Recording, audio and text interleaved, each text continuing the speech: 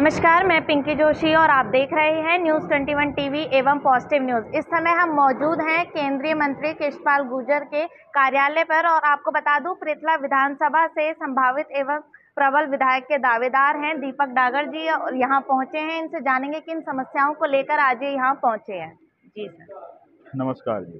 जी sir हम- आ, हम अपने पृथला परिवार के जो 25 गाँव हैं सीकरी मोहला भनकपुर धौज तक अपना सिकरौना सिक, अपना कबूलपुर ये सारी जो बेल्ट है यहाँ की सड़क बहुत जज्जर हैं।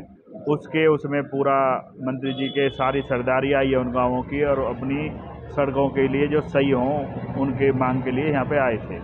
जी आज सड़कों की मांग के लिए बस आए हैं। सड़कों की ही मांग के लिए आए हैं। सड़कों जो पहले हमारी सड़क टूटी पड़ी है उनको बनवाने के लिए आए हैं। उन्होंने हमें दो महीने का आश्वासन दिया है और तुरंत प्रभाव से अभी उनको ऐसा जो अपने एक्शन साहब हैं उनसे बोल दिया है, उन्हें सही कराएँगे।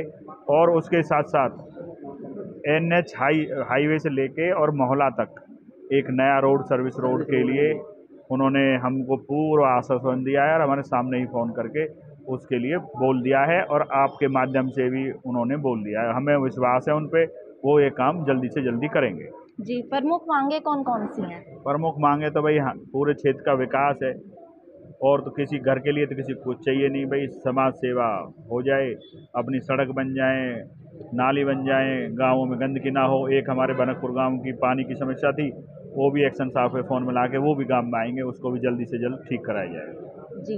प्रीतला विधानसभा की अन्य कौन सी ऐसी समस्याएँ आप इस समय देख रहे हैं जिन पर जल्द से जल्द काम करने की अभी आपको आवश्यकता लगती है?